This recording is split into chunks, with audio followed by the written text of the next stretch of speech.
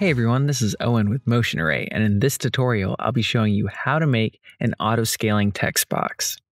There's a handful of tutorials out there that cover this topic in great detail and spend time explaining exactly what the code is doing. This isn't one of those tutorials. We're just trying to get you the information you need and back to work. All right, let's get started. I'll begin by making a new composition, and I'll make it 1920 by 1080 2997, and I'll call it text box. Then I'll grab my type tool and I'll type out something like my text layer. Then I'll go up to layer, new, shape layer, and I'll add a rectangle and a fill. And I'll go ahead and rename the shape layer to be text box. I'll also drag it beneath my text layer.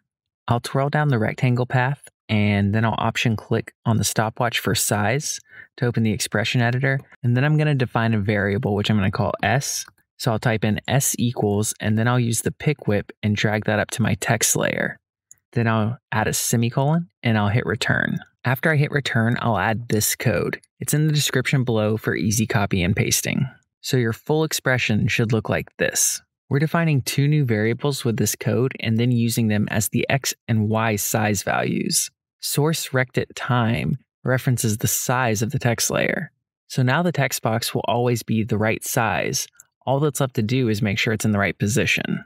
So I'll grab my text box and I'll snap it to my text layer holding command. And you can see that it's the exact size of the text. Now I'll option click on the stopwatch for the position of the rectangle path, not the layer, and add this expression. We've also added this one to the video description so you can copy and paste.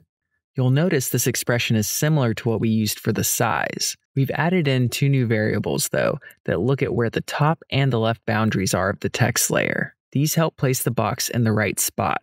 So now we've got all the coding done, I just need to move my box back into the right position.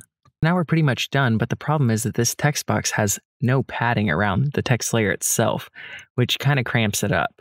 So to give it a little bit of breathing room, I'll go to the add menu and I'll add an offset paths. In the offset paths, I can change this value to increase or decrease padding. I'm going to set this value to 25 to give myself a 25 pixel pad all around the text layer. I'm also going to go ahead and change the color of this text box to blue. Another great thing about this text box being a shape layer is I can add a stroke for even further customization. Keep that stroke from going over my text, I can just drag it below the fill. At this point, we're pretty much done, but for a little bit more flexibility, I'm going to parent the text box to the text layer. So now I can just drag my text around and I can scale it up and the text box will go with it. I can even rotate it.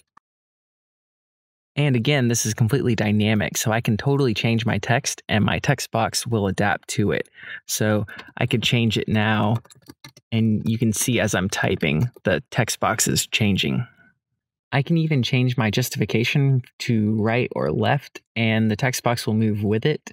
I can change the size of my text. And I can even change my typeface itself. So you can see that this effect is super dynamic and really helpful when you're making text boxes or lower thirds or anything like that. If you'd like to dive deeper into this expression and customizing it even further, there's a great tutorial by Jake in Motion that we'll link in the description. Well, that concludes this tutorial. I hope you guys found it helpful. If you did and you'd like to see more tutorials, please go ahead and subscribe because we're making new ones all the time. Thanks for watching and see you in the next video.